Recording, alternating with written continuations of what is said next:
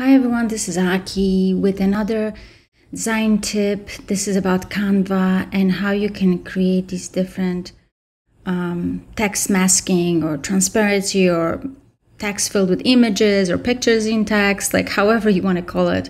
There are different ways of calling it. I want to just give you some example what we're going to be learning.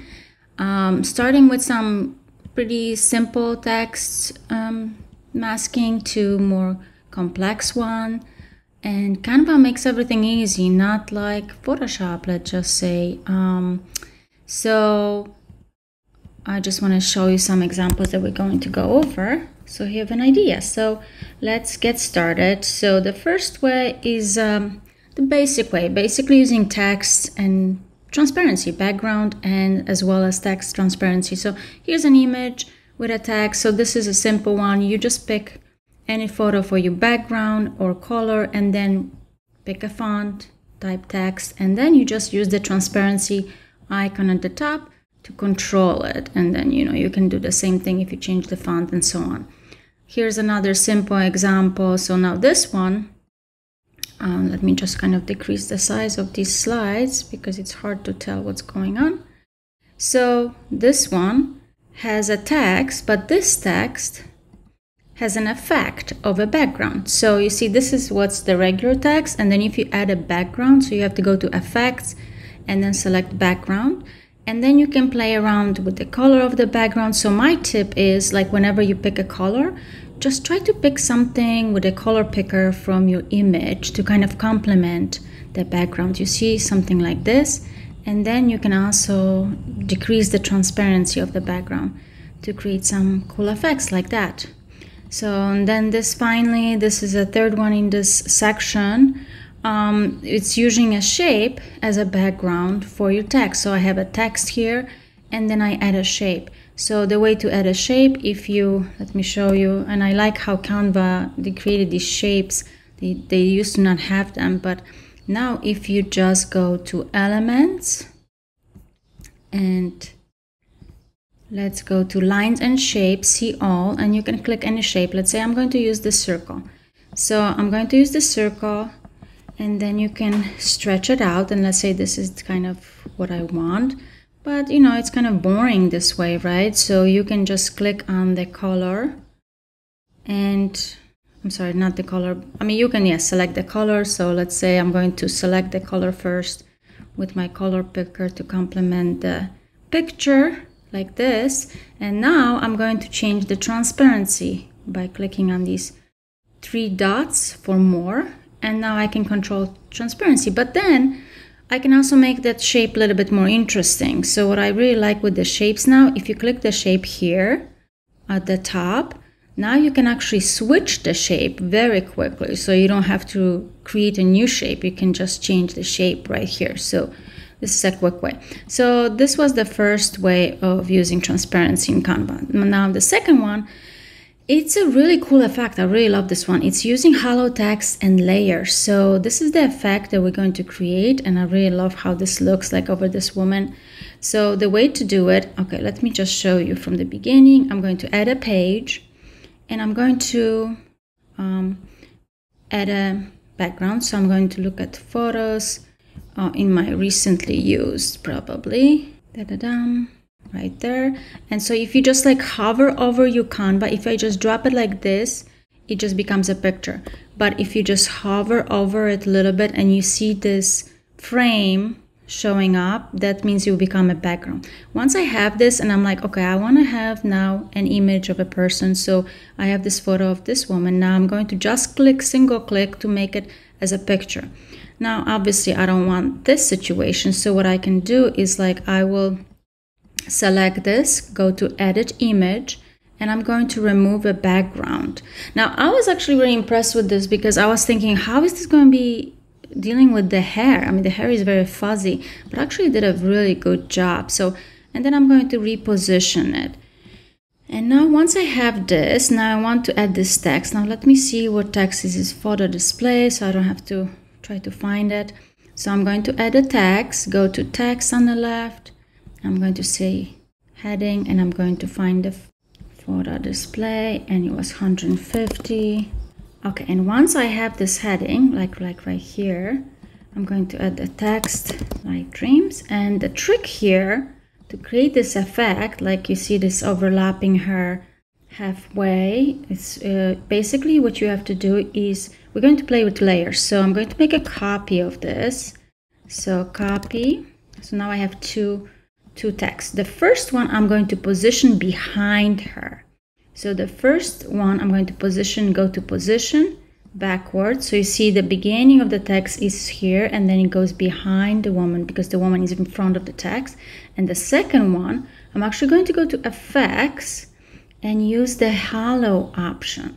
And once it's halo, like I want to add different colors. So I'm going to click on the color and was this the yellow that I used? I think it was more like this. And now I'm going to also uh, change once more time effect the thickness of it just so it's just like kind of like this it's not too thick and then once you layer it over you see that the halo text goes over the woman and the ones um, that's behind her it comes out um, it just seems like it comes out you know behind her. And that's what it is actually. One is in front one is behind. Now if you want to change this like you can see how this is working. So I, I really like this effect. It's like a simple effect but works really well. So then the third one is using the letter frames and this is what um, you know canva is kind of recommending so we have a simple one here like so you have these images in the text so the way to do it let me show you. Basically, you go to elements and now you want to click on frames. Now let's scroll. Where are my frames? Here. Frames, not grids, but frames. And you have to scroll down a little bit lower to get to letters. Now, one thing that I don't like with um, this option is that it's only one option for text. So I'm going to put um, you know the tech the font type so they're all like the same and that's pretty much it so i'm going to show you how to do it with this option and then the fourth one will give you more possibilities so i'm going to try to spell a word nature so i'm cl clicking the letters and you can see them being on top of each other we will work with this so i'm just going to decrease in size because obviously it can't fit now i'm going to try to show you tricks so Okay, so you just take the letters and then you position one at the very left and the other ones over there. Now I select them all and click position and distribute not um, proportionally. So it kind of like does it quick way. So, and then you can also resize it if you select all and resize it. And now we are ready basically to put images in the text. So you go to photos and now I'm going to try to search for some nature so I'm, you know, basically taking the image and dropping it over each letter. So you can do that. And you see what's happening. And so this is, here you go. You have, uh, oh, I spelled it incorrectly. So you can just change it. And then if you want to fix the positioning again, make sure it's at the bottom it is okay so you have that now another option is to have something like this so you have the image underneath and then over it you just have it more clear the image in each of the letters or, or something like that with a different background so um, this one has no background this one has a background and this one has the background of the images inside now so the difference between this one is basically I'm just also having the image underneath. So I, you know, did the same thing with the letters. I put the same photo in each letter and then I um, put that image also as a background like this. And now actually you can see it. So you have to go to, so now you have to select it and go to transparency to decrease the transparency of the image. Now, now I'm going to show you the trick so you can actually see, you see this, the top of the North America continent is showing up in this letter and you can transition it quickly. So I had to actually work at this. So when you click on each letter, you see the image that it's there. and you can reposition the image. And obviously, if you just drop it, it will not necessarily all lined up. So you will have to line it up yourself. So once you have the image, you can resize it and reposition it over um, so it you know it lays perfectly. You can see the way it's lining up. Now you can line up and once you, you see that it's not fuzzy, that means it's lined up pretty well. Oh, let me see. So sometimes it's it's a little bit of a tricky thing, but you know that's how you kind of have have an option to line up the things inside the letters. Now here is another one that's kind of the same situation. I want to show you how I did. So you see this is part of one picture and this is part of the same picture but it's a little bit larger. So the way I did it is basically, let me duplicate this. Let me remove the background. So I just remove the background and I actually have the photos here. But what I did is go to photos and now this image I actually position it not as a background but just as an image kind of like lined it up over these letters so I can see it how this should be positioned across those you know four letters or so and then I put it to the back.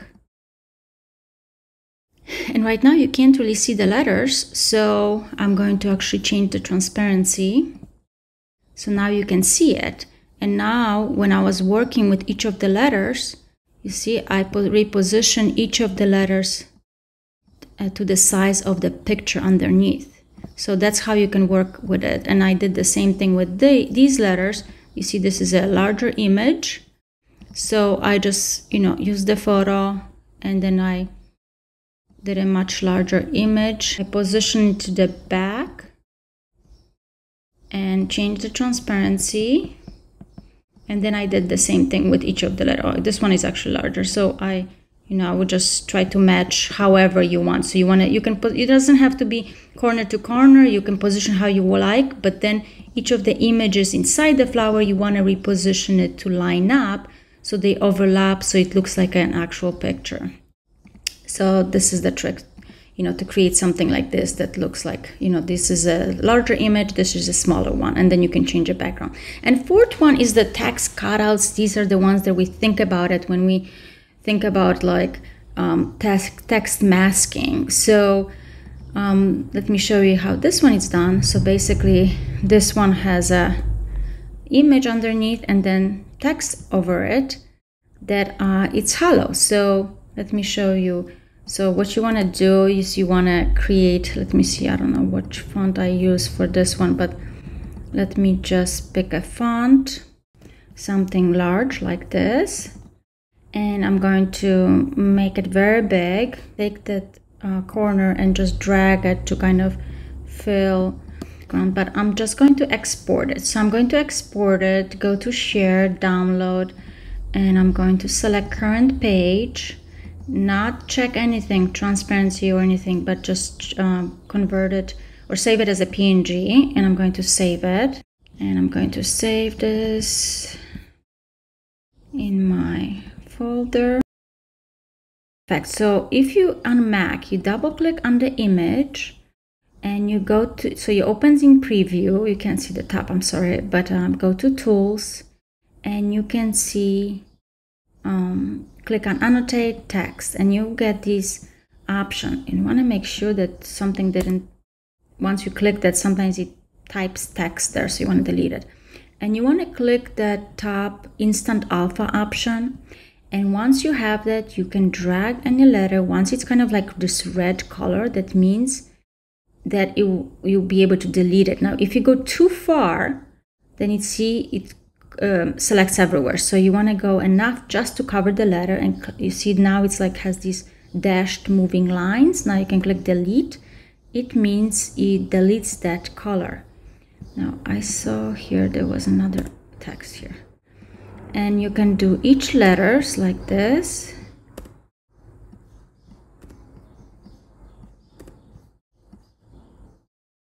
Okay. And now I'm just going to save this and now I'm going to go to Canva Canva here and I'm going to import that photo right there. So now I can position how I like and it should fit perfectly because oops so what happens sometimes when you click that it becomes your background. So you want to make sure that it's, it's not a background. Okay now it's working. So this is how to do it. And um, you see this is another application of the same situation that um, oh, actually this one is a little bit different but this one has more text. And um, let me see what I have the text right here. So if you have so much text you don't want to go through this manual process. What I did is actually you can export this. You can use Photopea, which is a free program online and you can drag your um, picture right there. And then once you have that you can go to filter. I'm sorry not filter select color range. Click OK. And now you want to inverse uh, select inverse. Select inverse and click delete and the same thing like all the text is removed. And now you want to save it again. So you go to file export as png and it saves it somewhere in finder. Um, the quote with remove background and position as so. So this is how it will look and then you can also do something like this which is basically you take a text that you you know you want you just create a back black background. Take the text you save it as an image and then you import it. And I'll show you what I did. It's basically this is an image that I um, imported. Where is it? Right here.